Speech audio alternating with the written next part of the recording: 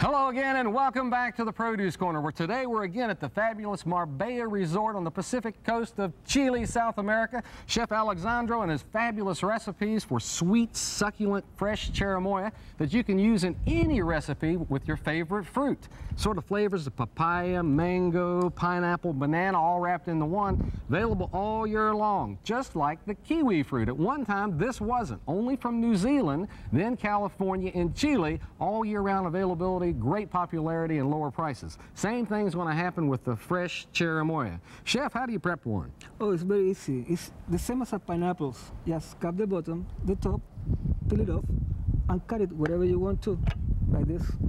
And you can make all these types of salads and mousses and cakes, oh, yeah. cherimoya flavor, and these drinks, especially the cherimoya milkshake. We'll send all these recipes Self-addressed stamped envelope to the produce corner care of this station. We'll make sure you get it. What's this raspberry oh, this sauce? Is raspberry sauce. Yes, fresh raspberries and sugar. And that's it. Yeah, See? put it in the top of this, like this.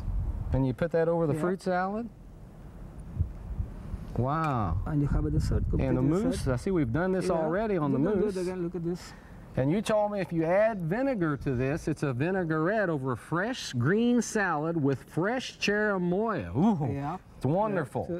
So fabulous fresh cherimoya available all year long, especially now from Chile, especially if you ask for it from your favorite local grocer.